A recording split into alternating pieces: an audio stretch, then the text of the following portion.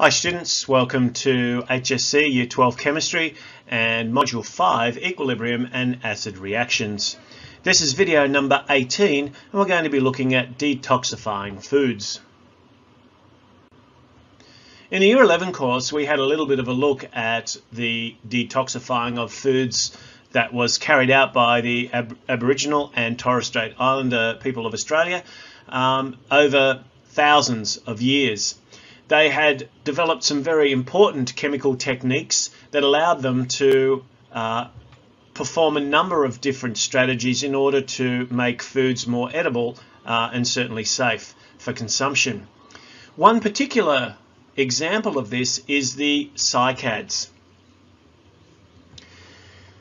Cycad seeds can provide uh, a number of different types of foodstuffs for Aboriginal people, but in order for that to happen,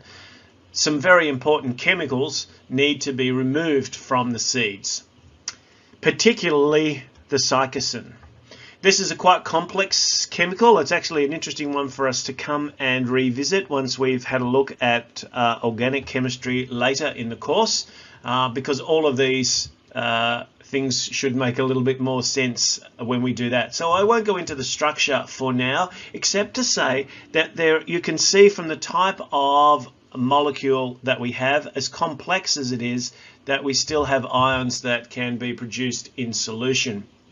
Now, one of the important things about understanding about equilibrium and how to manipulate an equilibrium is that it also means that if we have an understanding of things like closed and open systems, we can try and continually push particular reactions um, that may reach an equilibrium to continue to react in such a way that we uh,